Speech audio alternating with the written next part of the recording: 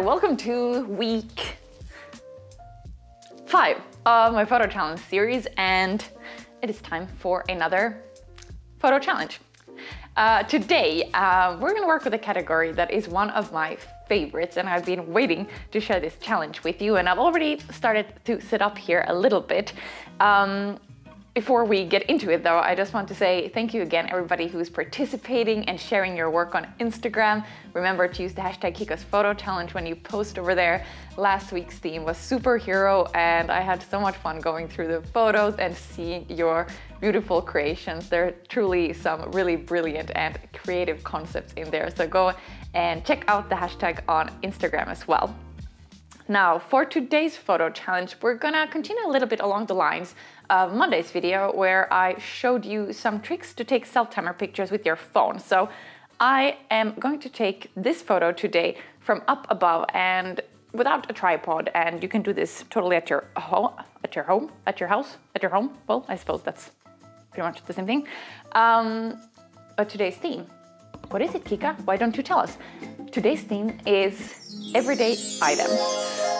And more specifically, turning everyday items into something not so everyday and taking something that is pretty ordinary and making it extraordinary.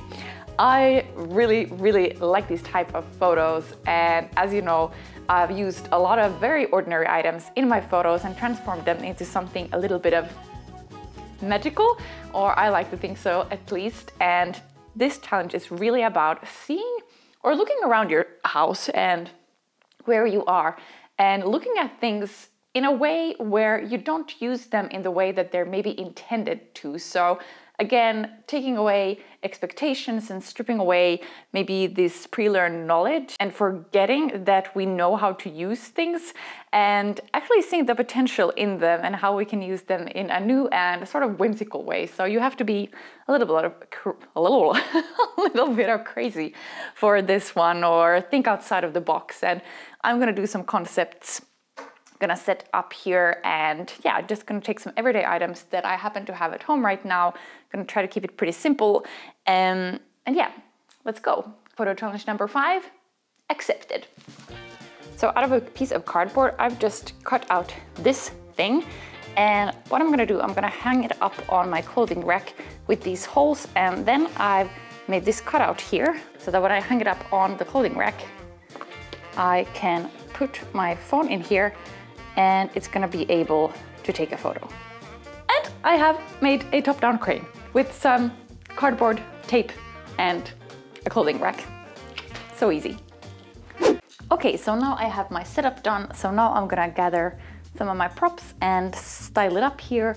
I've had this table for many years and unfortunately there's some grease stains over here. Um, so I'm gonna try to cover those up then with my hand or something in the photo.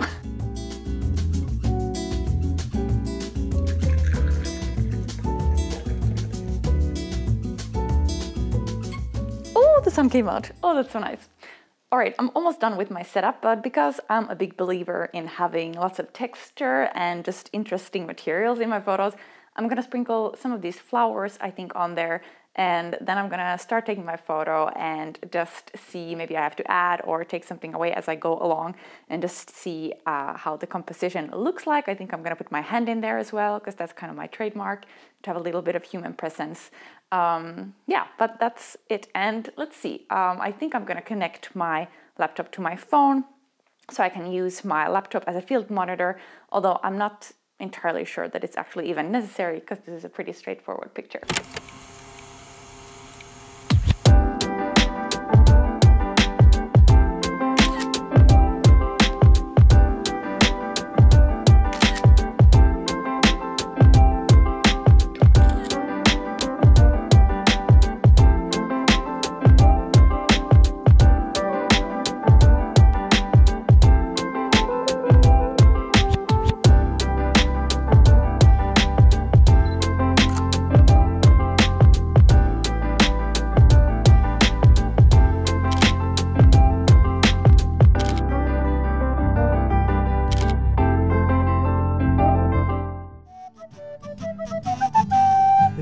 My bonnet, hello, hello. A bee in my bonnet, hello. There's a bee in my bonnet, hello, hello. A bee in my bonnet, hello.